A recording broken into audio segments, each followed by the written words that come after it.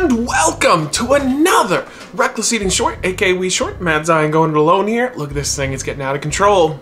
How much longer will it go before I cave once again?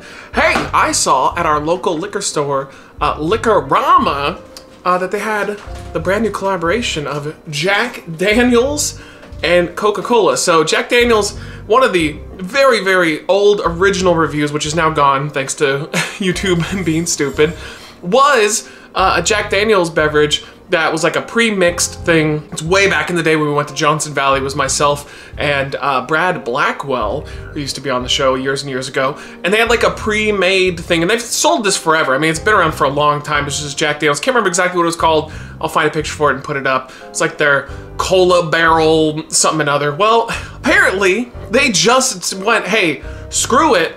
Let's just do a collaboration with Coca-Cola. Uh, cool. Okay. I don't know if these companies are owned by the same individual or not, but cool looking can, putting that Coca-Cola on there. I love, love, love, oh, hold on. Mm. Mm. All right, sorry, there was a little thing in my mouth. Uh, a little piece of food. I love that the floodgates have opened and all of these companies that forever were refusing to do anything alcoholic with their brand because they're like, well, somebody please think of the children profits baby. There's one thing that's great about capitalism is if they see a path of just immense profits f the kids. F, f everyone. They will do whatever it takes to make a little bit of money. So i'm happy that they did this collaboration. Let's try out jack daniels with coca-cola. Uh, it is tennessee whiskey. I found a lot of weird whiskeys today. I went to total wine as well. And i found there was like a gingerbread flavored whiskey. How weird is that? They got a cookie dough one. Uh, almost bought the gingerbread one, but I'm like, I'm just not that big of it. It's the Bird Dog whiskey, which I used to get all the time. I don't really screw much around with hard liquor anymore. Honestly, I don't really drink anything other than seltzers. Seltzers tend to be it for me. The cat is going nuts right now. He's so happy that I'm moving around here. Let me grab him. Okay, he's being a big boy. Yeah, but I mostly just drink seltzers now. I don't know. I just enjoy them. I think they're casual, easier to easier to do. Uh, occasionally, I will do beer, uh, but that is, yo, Know, it's not that often. So, and what do you drink? Oh, I only, I only like cat treats. That's what my passion is. That's why I'm so chunky. I love the cat treats so much. Okay, he's he's already annoyed with me. Bye, everybody. All right, he's happy. Let's try out the Coca-Cola Jack Daniels. Uh, hey, here's a question for you guys. If you could have one major brand jump into the alcoholic game, doesn't matter if it's a beer, mixed drink, seltzer, whatever, what would you like to see? Let me know in the comments down below. I, I mean, I would have said Mountain Dew, but they're kind of the ones that started this, you know, cascade of companies giving in because the hard Mountain Dew is delicious. I cannot wait to find the Livewire version, which is come out. It came out separately from the big pack. And uh, my pick would be Rockstar then, uh, which I know apparently I was told that there used to be an alcoholic Rockstar way back in the day, way, way, way back in the day. But I'd like to see them re-release that or, you know, follow in the steps of Monster and release their own version of alcoholic sodas. That'd be great. All right, let's try this out. Hey, also, follow us on Twitch, twitch.tv slash wreckless eating for gaming goodness. That is where I am most of the time. And follow us on Patreon, back us on Patreon uh, for all uh, access to all the videos that were too hot for YouTube, that YouTube made us delete, and all the newer videos that involve alcohol or anything like that. Here we go. Oh.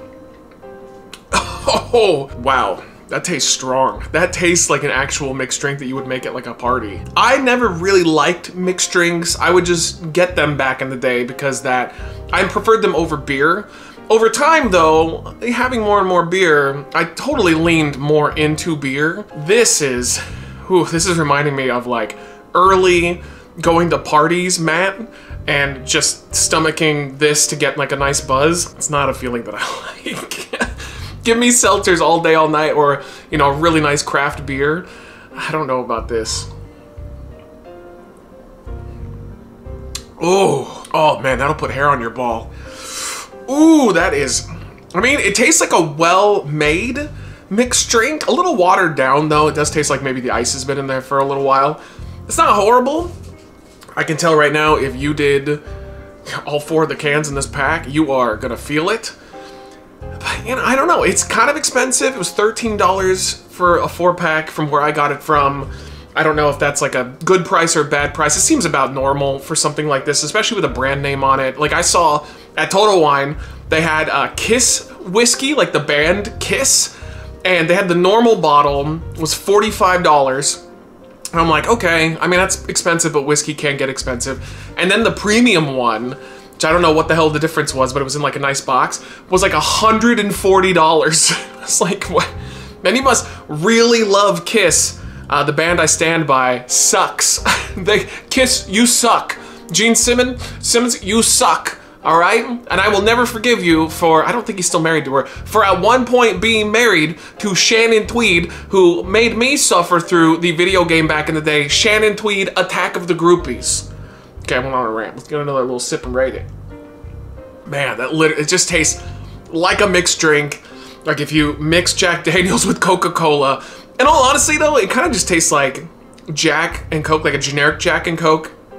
I don't know that necessarily the Coca-Cola shines through as prominently. Not getting that like teeth grittiness that I always get when I do Coca-Cola.